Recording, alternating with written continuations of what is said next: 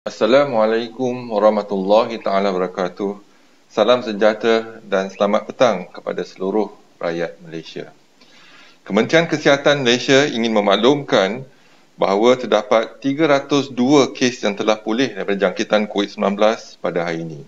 Jumlah kumulatif kes yang telah pulih sepenuhnya daripada jangkitan COVID-19 adalah 12,561 kes iaitu bersamaan dengan 64% daripada jumlah keseluruhan kes.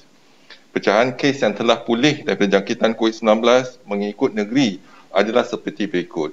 Iaitu negeri Sabah 236 kes, Selangor 41 kes, Perak 16, Sarawak 4 kes, wilayah Persekutuan Kuala Lumpur dan Putrajaya 3 kes, Negeri Sembilan 1 kes dan Pulau Pinang 1 kes.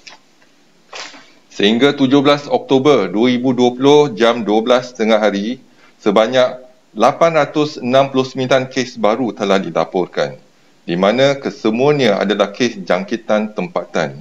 Ini menjadikan jumlah kes positif COVID-19 di Malaysia adalah sebanyak 19,627 kes. Oleh itu, jumlah kes aktif dengan kebolehjangkitan COVID-19 telah meningkat kepada 6,886 kes. Kesemua mereka telah diasingkan dan diberi rawatan di hospital. Jika dilihat pecahan utama jumlah kes hari ini, negeri Sabah terus mencatatkan jumlah kes tertinggi iaitu 451 kes bersamaan dengan 51.9%.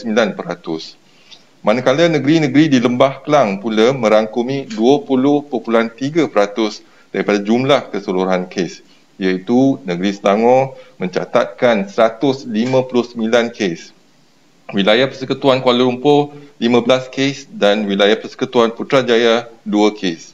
Kesemua negeri-negeri ini adalah dalam perintah kawalan pergerakan bersyarat.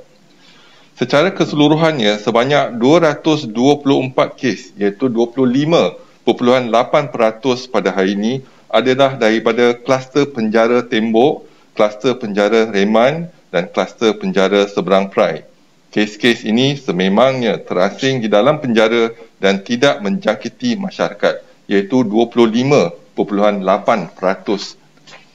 Daripada 869 kes penularan di dalam negara, 745 kes adalah warga negara Malaysia dan 124 kes adalah bukan warga negara. Daripada jumlah keseluruhan kes hari ini, hanya 4 kes merupakan pengunjung yang pulang dari negeri Sabah yang menjadikan jumlah kes dilaporkan mempunyai sejarah perjalanan ke Sabah sejak 20 September 2020 adalah sebanyak 441 kes.